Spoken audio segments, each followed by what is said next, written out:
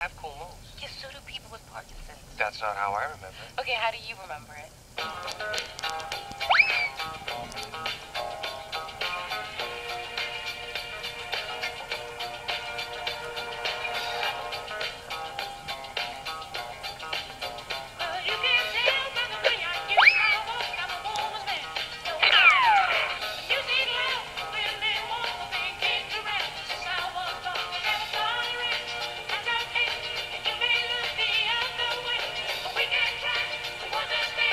right.